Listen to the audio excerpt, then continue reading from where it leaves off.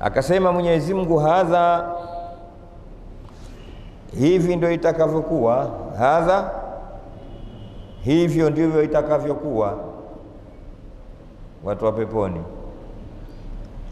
Kisha wa inna litaghina la sharru maab, na kwa hakika watapata wale wenye kuchupa mipaka mafikio mabaya. Mafikio mabaya, wenye kuchupa mipaka hapa ni wale wenye kumuasi Mwenyezi Mungu Subhanahu wa Ta'ala, na makafiri wao watafikia sharru maab, mafikio mabaya. Hayo ma, mafikio mabaya ni yepi?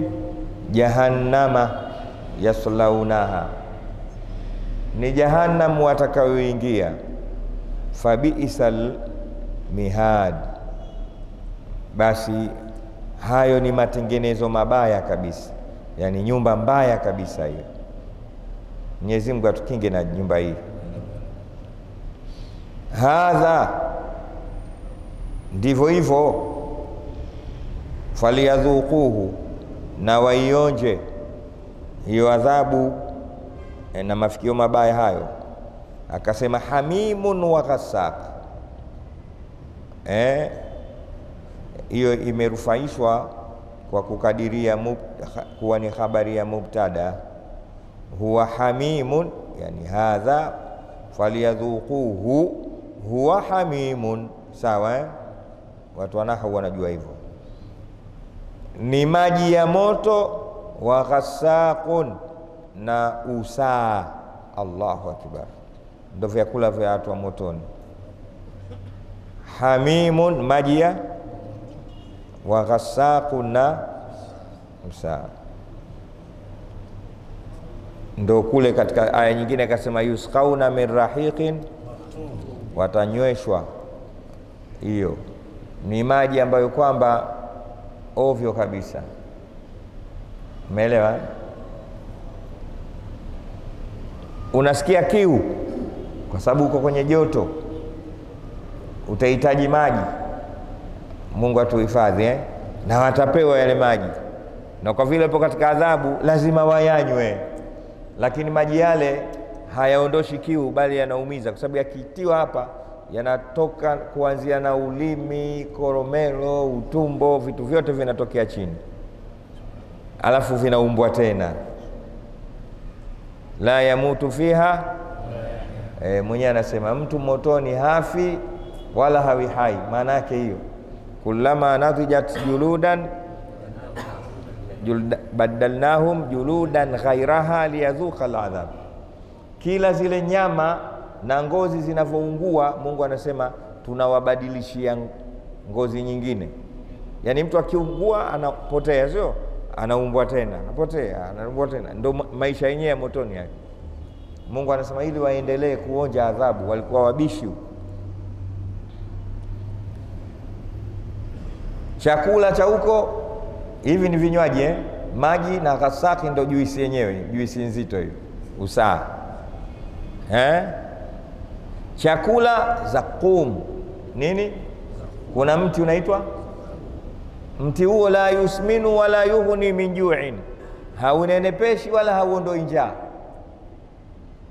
Raha ya chakula ule, alafu uwande eh, upendeze. Lakini chakula cha huko watakachokula, la yusminu wala yughni, hakimnenepeshi mtu wala wala hakimnufaishi na njaa yake. Mwenyezi Mungu atuhifadhi, hii hatari. Sawa, Mwenyezi Mungu anasema wa akharu min shaklihi azwajun, na adhabu nyingine katika namna yake mfano mfano, yani zitakuwa na adhabu nyingine. Hapa, kazitaja hizo tu, lakini kuna adhabu sampuli hiyo. Namna hiyo, wa akharu min shaklihi azwajun, sawa? Mm. na namna nyingine ya mfano wake mafungu kwa mafungu, maanake ikitoka adhabu hiyo wanapewa hii, chakula hiki wanapewa hiki, vyote sivyo. Mungu atuhifadhi. hapa napita haraka haraka, panatisha eh? hadha eh, yafahamuni vyema hayo. Faujum muktahimun maakum, wataambiwa hili kundi lingine eh, la zamani hili litaingizwa motoni pamoja nanyi. Yani hili kundi jipya wataambiwa wale watu wa zamani waliotangulia, sababu si watu watakuwa wanatiwa makundi makundi. Wasikha alladhina kafaru ila jahannama zumara, tumesoma juzi katika suratu Zumar. Ndio sasa likitangulia kundi linakuja lingine, faujum muktahimun maakum, wataambiwa hili kundi lingine litakaloingia motoni pamoja nanyi.